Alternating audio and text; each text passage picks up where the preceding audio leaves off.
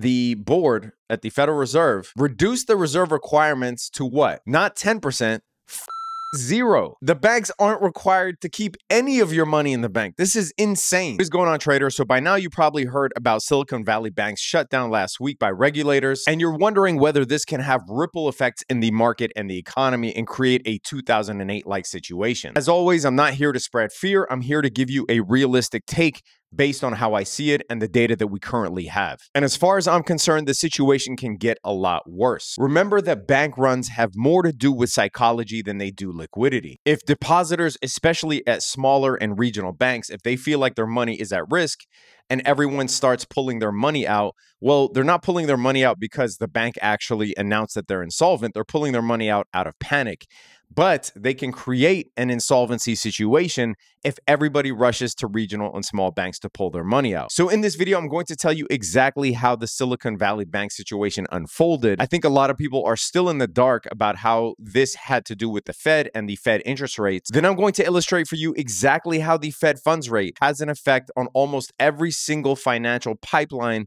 in our system. This is why over the last year, you've heard economists, you've heard analysts talk about the Fed is going to break something. They don't know what that something is because the Fed funds rate has its tentacles on almost every single element in our system. When I told you a month ago that I was selling my stocks, it wasn't because I knew what would happen.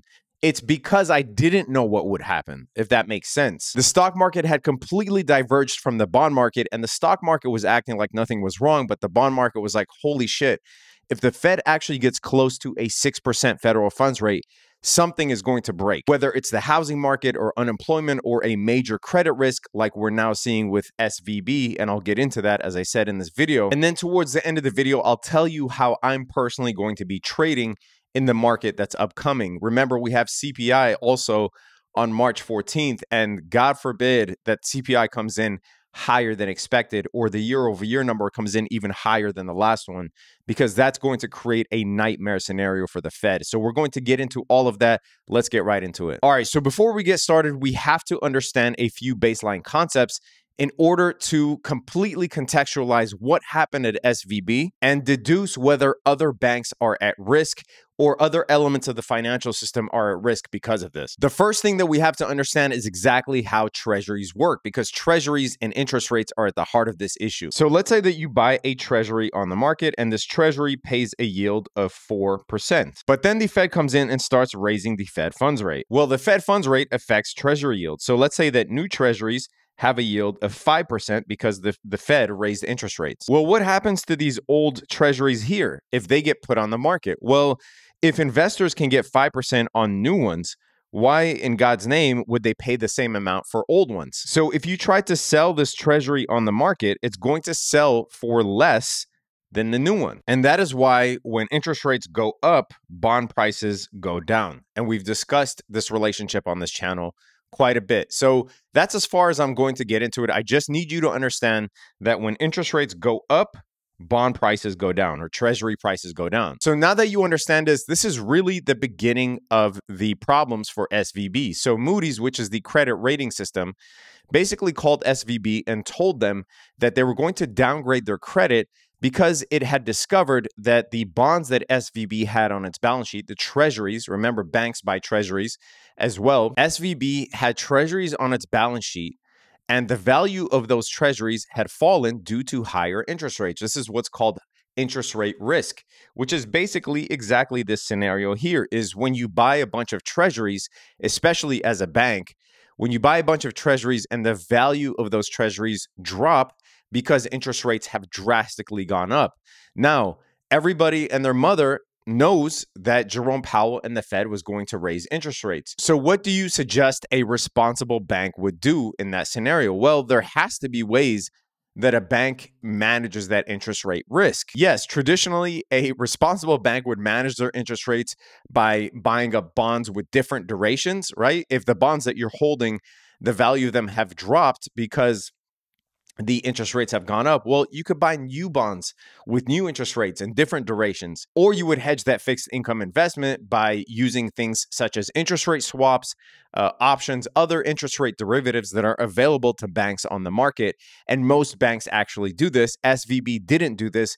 Moody's found this out And that's why Moody's called them up and was like, hey, we're about to downgrade you because all of these bonds that you have on your balance sheet, they are not hedged and they've all declined in value. So here's where the problem got worse for SVB. SVB then was worried about this downgrade because obviously if you're if you're a bank and your institution is downgraded by a I'm not even going to say reputable institution like Moody's. Those of you in 2008 know from 2008 know what I'm talking about. But anyway, neither here nor there. Uh, an institution who is downgraded publicly, obviously that undermines the confidence of investors, of depositors, etc. So SVB was right to worry about that. So they rushed to find a solution and they're like, okay, if we sell all of the assets that we're allowed to sell, basically most of them are treasuries as well as mortgage backed securities, then we could raise cash and try to reposition ourselves for this mistake of not hedging the treasuries that are on our on our uh, balance sheet even though we knew that the Fed was aggressively hiking rates, I still don't know how this happened. Obviously, as we discussed in this little il- illustration here, that the value of bonds go down when interest rates go up. So they're going to be selling those treasuries and those bonds. They're going to be selling those at a loss, right? Now, in order to backstop that loss, what they their plan was, what they were going to do was they were going to uh, sell shares in order to fund that loss. Now, this plan, as CNBC called it in this article, absolutely backfired. The news of the capital raise literally spooked clients, investors, etc., especially at a time like this when reverberations from 2008 are still at the top of people's minds. And what ensued was called a bank run. A bank run is just a fancy term for depositors rushing to the bank to take their money out in panic. Now, this brings us to our next concept that we have to understand, something that is very problematic, and that is called fractional reserve banking. What is fractional reserve banking? I promise you, if you're a beginner, you will get this. I'm not trying to confuse you or lose you. I think it's very important that you actually pay attention to this. But what is fractional reserve banking? Fractional reserve banking is basically this Imagine you deposit $1,000 in a bank, right? Because you might be thinking to yourself, hey, why do bank runs happen? If I deposit a thousand dollars in the bank and I rush to the bank to pull out that thousand dollars, they should have it, right? I put a thousand dollars in there. Wrong. This is where fractional reserve banking comes in. So when you put a thousand dollars in the bank, right, the bank actually isn't required to hold that thousand dollars. They can historically only hold 10% of this. And so they're going to hold $100 and they're going to loan out $900 in the form of loans, right? So, say somebody wants a mortgage, they want a car, they're going to use your money to loan out $900 of the money that you put in and use that for loans. And they obviously charge an interest rate on these loans. And that's how they make money. So they're paying you on your $1,000. A bank is paying you, I don't know, let's just say something paltry like 0.2%. Um, and they're loaning out $900 at say 4% or 5% depending on on you know whether someone's using it for a mortgage or a car loan or whatever. And this difference right here is how the bank makes money or one of the ways in which a bank makes money right? So fractional reserve banking allows a bank to basically only keep a portion of your money in the bank and use most of your money as a way to lend to businesses and consumers alike. And that's how banks make money. Now, the government and the Federal Reserve will tell you that this is what allows the country to grow. And without this, the country would not grow, or at least grow in perpetuity. And so, this type of almost like, I don't want to call it a Ponzi scheme, but almost a way of creating phantom money is really what allows uh, countries like the US and other economic superpowers to maintain a growth status, right? But what happens when you come for this $1,000? Well, if it's just you, there's probably no problem with it, right? There's really no problem with it. If it's every single depositor is coming for their $1,000, well, the bank's going to be like, we don't have it, right? Because we're using your money to loan out. And in normal banking circumstances or normal economic circumstances, nobody really is interested in, in rushing to the bank to pull out their money. But now, if you think that the bank is actually at the risk of shutting down, then everybody's going to be rushing to get their thousand dollars out. In this case, we're talking about millions of dollars. uh, hundreds of millions of dollars in some cases, right? And the bank is going to go bust. And this is exactly what happened.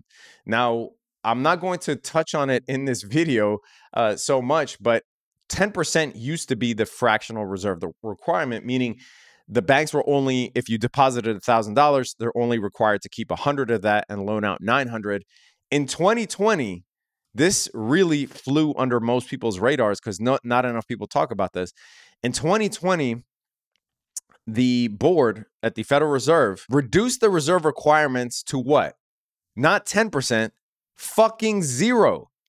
The banks aren't required to keep any of your money in the bank. This is insane. I might make a follow up video on the history of this, why this happens, but I'm not going to touch about it in this video. But I do think you should know about this. So, know that right now the reserve requirement for banks is 0% effective as of March 26, 2020. So because of this bank run, regulators quickly stepped in on Friday, shut they shut down the bank and they put it in receivership. If you guys remember, if you're old enough to remember, this actually happened to Washington Mutual, a bank that maybe some young folks don't even know by name, but a lot of you who are around my age or older will remember Washington Mutual very well. And in 2008, that bank was put into receivership and I believe was acquired by JP Morgan, uh, eventually turning it into JP Morgan Chase. So we don't know yet what's going to happen to SVB. Is it going to be acquired by a bigger institution? Is it going to uh, just fail? And all of the companies, a, a, list of companies have come out. We'll go over what companies so far have been uncovered. Uh, you know that their money is deposited at, at SVB you know, are all the companies and depositors going to lose their money and the bank just be allowed to fail? Is somebody going to come in, swoop them up, and buy it and try to make those depositors whole? Uh, are we going to see a bailout? As of you know, as of today, Janet Yellen quickly came out and said we're not going to bail out SVB. And this is therein lies the problem, is because, or one of the problems right now, we're dealing with a major inflationary scenario where the Fed is actually raising rates aggressively to combat inflation. If the government comes in, prints more money to bail out SVB and other banks that may follow, and we'll talk about the risk of that, then they're creating again an inflationary environment and we're back to square one. So I think it was right of Janet Yellen to come in and say the government won't bail out SVB. But we've also seen politicians lie all the time, say one thing, and then end up doing another, especially as it relates to bailouts and printing money. So hopefully the government and the treasury keep their word about this in my view i don't think that svb should be bailed out i think that creates a scenario where once again we are subsidizing uh, private companies' losses and putting that on the taxpayer. And not only that, we're doing so in an inflationary environment where right now we just cannot afford to let inflation come back roaring. It's going to upend everything the Fed did. So there are some major publicly traded companies that do have a lot of money at SVB. Roku was one of them. As you can see here, Roku, it says that it held approximately 487 million, almost a quarter of its total cash at Silicon Valley Bank, but also a whole host of startups that Silicon Valley Bank was really uh, the the idea of Silicon Valley Bank originated to allow uh, or to, or to provide startups with liquidity and with money that other banks wouldn't give startups. So I think there's a thousand startups that have their money at Silicon Valley Bank. So not only could the bank obviously fail, but all of those startups uh, could get wiped out as well and then publicly traded companies like Roku, Roblox that have their money with Silicon Valley Bank that could have ripple effects on some aspects of the stock market. And here's another piece of troubling news. Only 2.7% of Silicon Valley Bank's deposits are less than 250,000. So why is this important?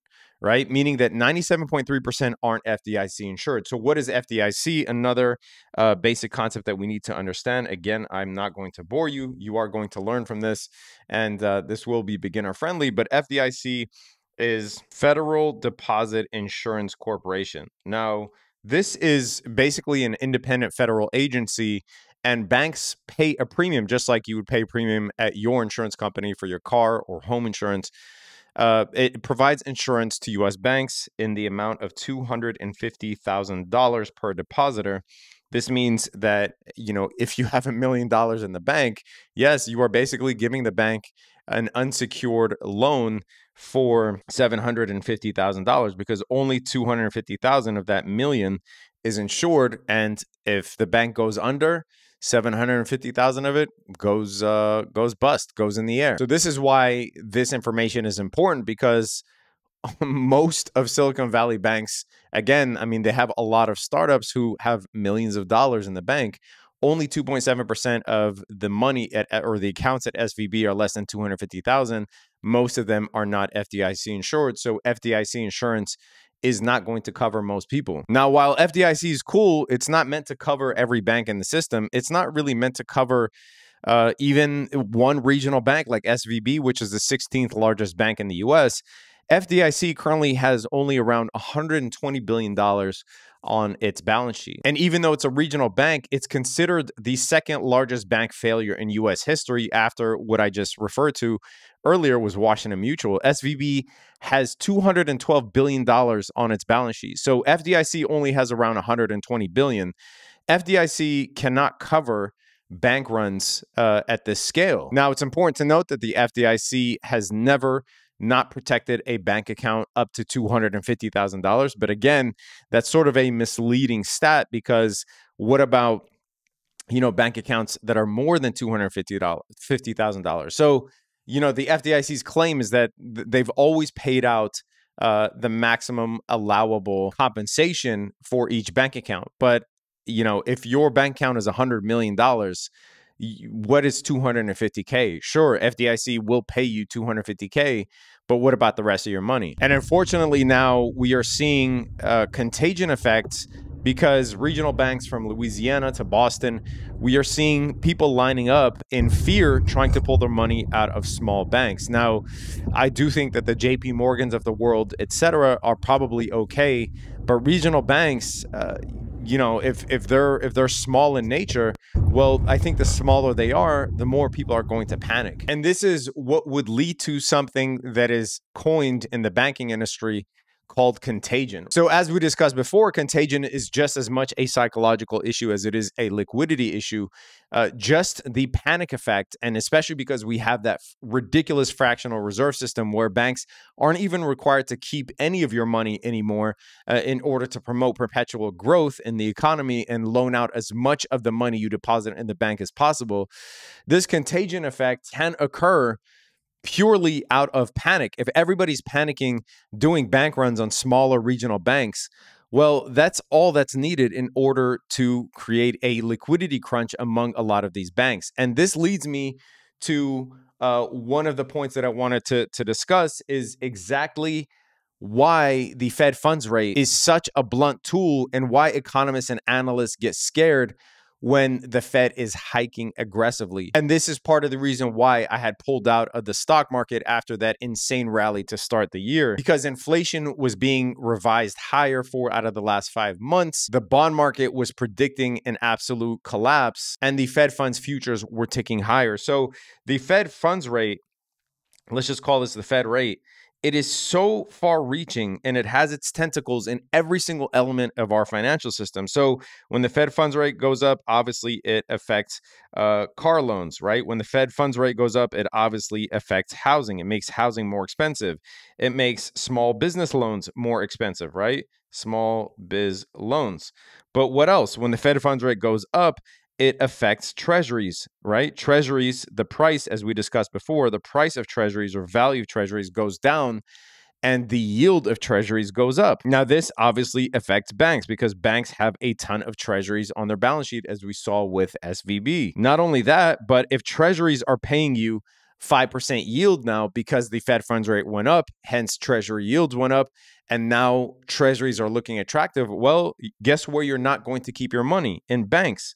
And if banks don't have your money, in order to use for loans, well, that's going to have an effect on banks' profitability. And more importantly, if banks do not hedge the fact that treasuries are going up, just like with SVB, and they just let these I don't I still don't know how this happened, but they let these treasuries just sit on their balance sheet losing value because new treasuries are going up in yield. So the treasuries that you have are going down in value. Well, for small banks that don't manage the risks properly, it's going to it's going to burst that pipe. The Fed funds rate also increases the cost of corporate credit, right?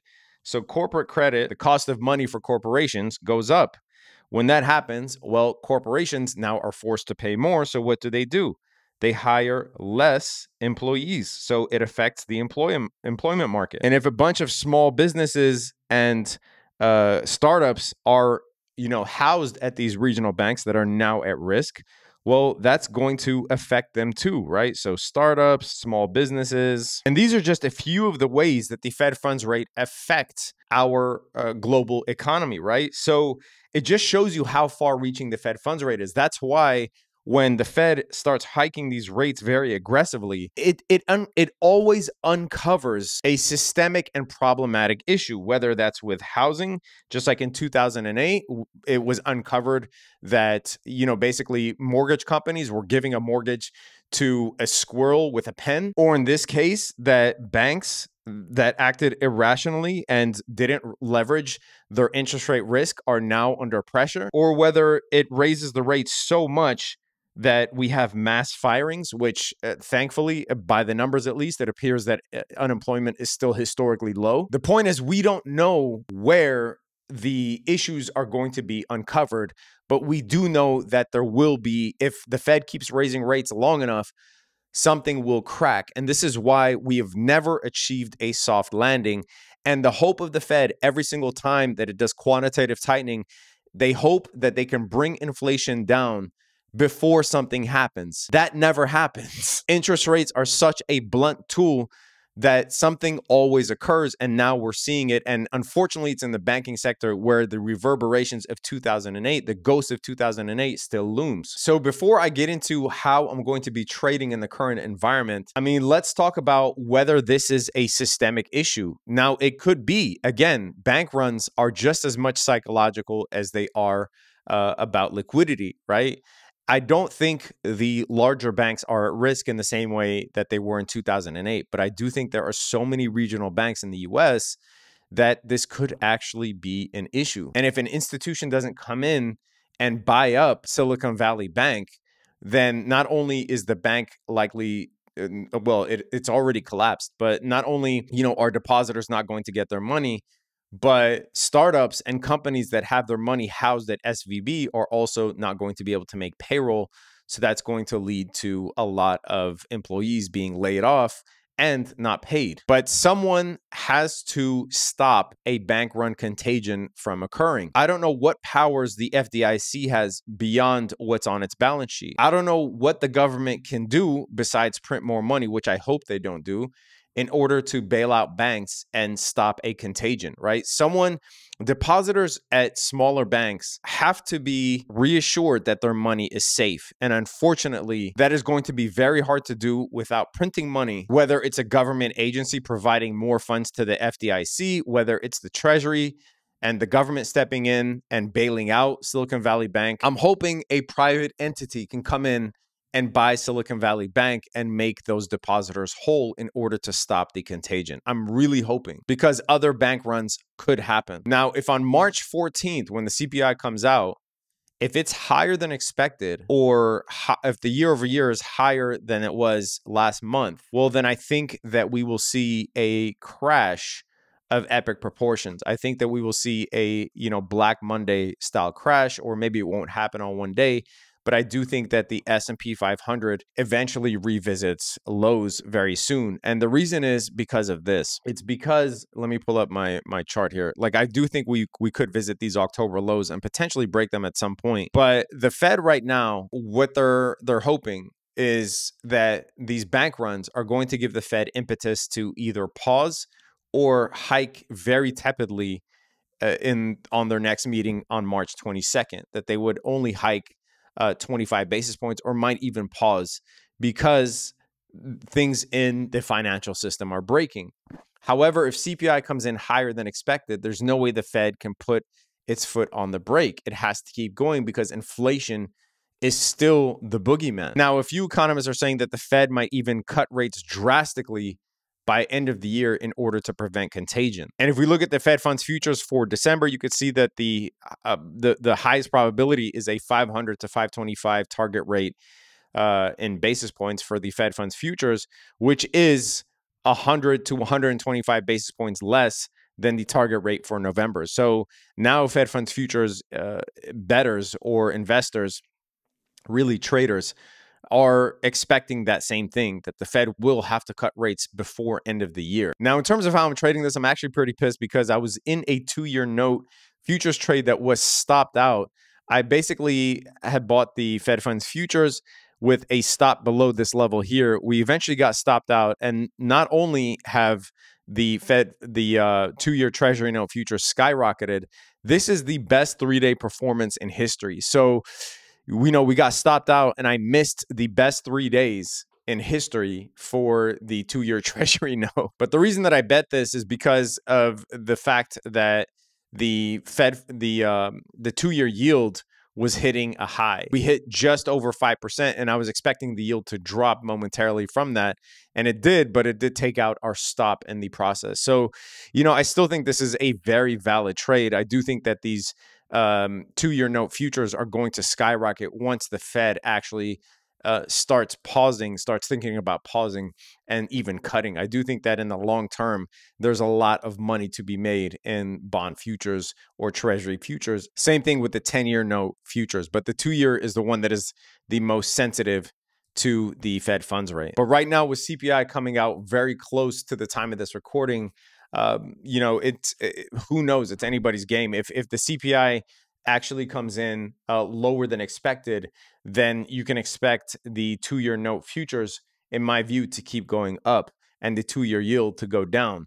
But if the Fed, if the CPI comes in higher than expected, then eh, the Fed is going to still have to act aggressively. And we could see those two year notes yields continue to go up even well past 5%. So, you know, before a data drop, I'm not really going to trade it. I am going to trade the CPI live. So, for those of you that love to join us live trading and like the live commentary on binary events, make sure to look out for that live notification because I will be live on CPI day. Anyway, traders, hope you got something out of this. If you want access to all of our trades, all of our analysis, uh, on the two-year notes, on the indexes themselves, futures, options, etc. Link is in the description below. Apply to be part of the academy. And if you are accepted, you will know very soon uh, after applying. So click that link in the description.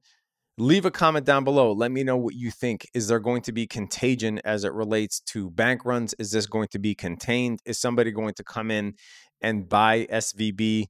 Is this just an isolated incident? Hit that thumbs up, subscribe to the channel, hit that notification bell. Stay safe out there, traders. Peace.